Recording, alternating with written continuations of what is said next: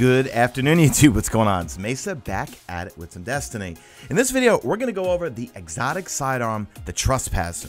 Now, if you didn't know, since patch 2.4.0 hit, uh, Rahool's been decrypting these things from exotic special engrams, and I had a few old ones, and if you watched me on stream last night, my final last engram out of five gave me this bad boy.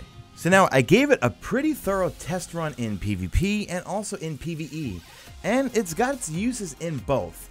Um, I'm going to give you the skinny on both right now. For PvP, it's really good. It's really good. It's a lot of fun.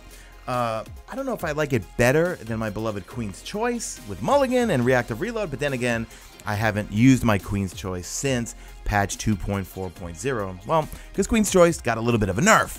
Before we get into the perks and everything, one thing I will say is, man, the range drop off I don't I don't notice it nearly as much in my Queen's Choice. I murk people pretty far, or I did with Queen's Choice. But yeah, the, the, you gotta get close to people with this thing. In the right hands of a beast, if you watch Enkuch's video, he just destroyed people with it last night. If you're a beast, you're gonna wreck people with this thing. If you're average like me, you'll have some fun. But for the most part, I was just running around trying to get kills only with this thing. And I did fairly I, I actually almost won this Rumble game you're seeing in the background here. Came close, but no potatoes. But I was only using this. I literally did not use my primary once. So let's jump into the perks. So first you got Relentless Tracker. Kills with this weapon grant enhanced motion tracker resolution for a short time. It's going to fire in three round bursts with deadly accuracy. Reloading after kill causes the next burst to be longer and more powerful, and it's called a super burst. Now here's comparing it to my Queen's Choice with Mulligan and Reactive Reload, and you can see it pretty much outclasses it by everything, okay? So here's the perk tree, and we'll take a look at the ornaments too. The ornaments make it look really good.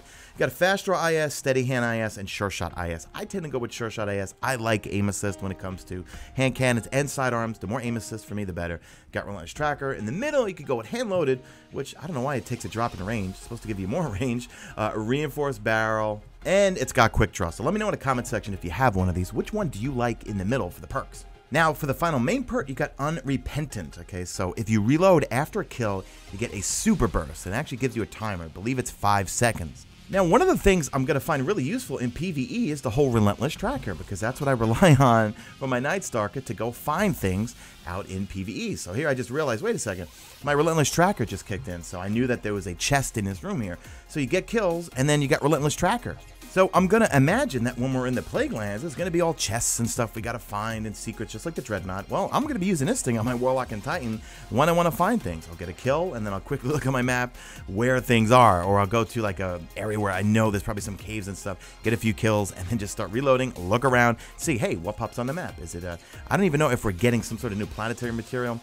Here's the uh, the recoil pattern. This thing kicks straight upwards, okay? But then again, this is me using the range perk in the middle. So it is manageable, but it just, it kicks straight up. It doesn't, it seems like it, it goes a little bit to the right, but definitely straight up. I didn't really feel it going to the left at all. So now, if you get close to someone, critical-wise, it's going to do 38. So each one of those bullets in the three-round burst, if you get close enough and you land all crits, it's going to be 38. But yeah, you got to get close to people, okay?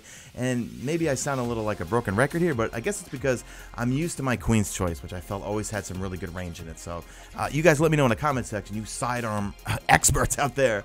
Um, do you guys feel like the range is good on this thing, or is it comparable to all the other sidearms? Let me know in the comment section. Now, to be frank, guys, the biggest thing for me is the whole PvE thing thing, okay? I'm going to be using it on my other characters where I want Relentless Tracker to find things. Oh, that poor Golden Gun guy. Um, to find things in the Plaguelands, you know? I mean, I'm imagining, Scott Taylor said it's going to be really big, so I'm going to be using this thing on my other two characters to find things when we go out on patrol. And that's it, guys. So let me know what you guys think of this thing in the comment section. Drop a like this video only if you see fit. Follow me on Twitter at MesaSean Check out my stream, usually on YouTube, sometimes on Twitch. That's it. I am out of here like Vladimir.